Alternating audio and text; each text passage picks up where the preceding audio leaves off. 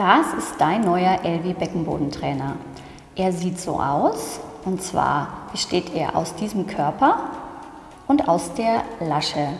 Er wird ähnlich wie ein OB eingeführt und zwar mit dem Körper und die Lasche steht dabei nach außen. Wenn du den Körper anfasst, wirst du merken bei Drücken und Entspannen, dass in dem Körper ein Bewegungssensor ist, der dann Rückmeldung an die App gibt und zeigt, wie fit du bereits mit deinem Beckenboden bist.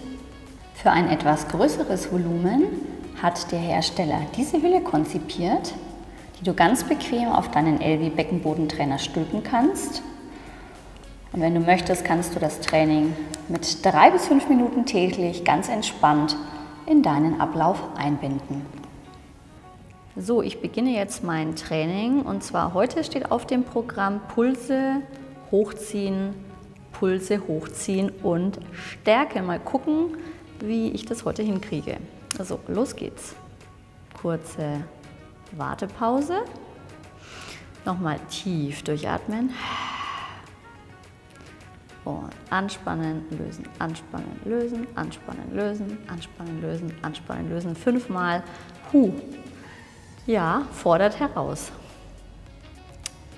Ich mache weiter mit Hochziehen.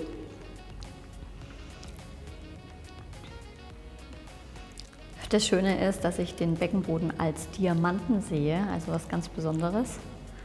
Und ich spanne wieder an und versuche, die Spannung überhalb der Linie zu halten.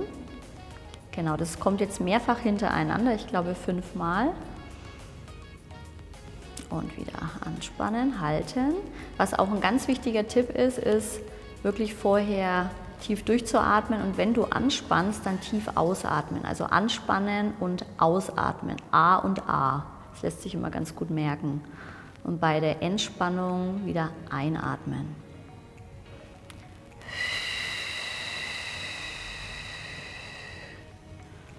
Das Video ist entstanden in Zusammenarbeit mit der Firma Medizintechnik Kasen in Lünen. Ich würde mich freuen über ein Like von dir und ein Abo und vielleicht magst du mal wieder vorbeischauen. Ich würde mich freuen. Lass dir gut gehen und bis bald.